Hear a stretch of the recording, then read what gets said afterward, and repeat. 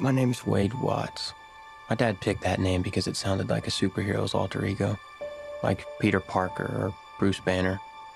But he died when I was a kid, my mom too. And I ended up here. Sitting here in my tiny corner of nowhere. There's nowhere left to go. Nowhere. Except the oasis.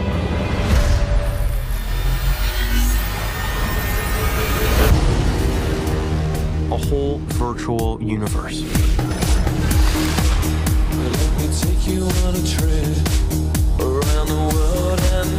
People come to the Oasis for all the things they can do.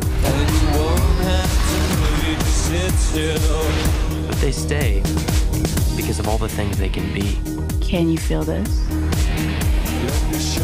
Um, yeah. It's the only place that feels like I mean anything. The Oasis was the brainchild of James Halliday. Hello. If you're watching this, I'm dead. I created a hidden object, an Easter egg. The first person to find the egg will inherit half a trillion dollars and total control of the Oasis itself. Who is this Parzival, and how the hell is he winning? Find him. This isn't just a game. I'm talking about actual life and death stuff. The Oasis, the world's most important economic resource. It's nothing less than a war for control of the future.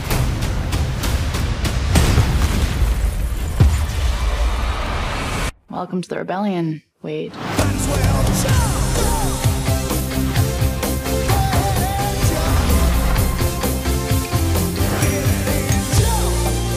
Many of you, I only came here to escape.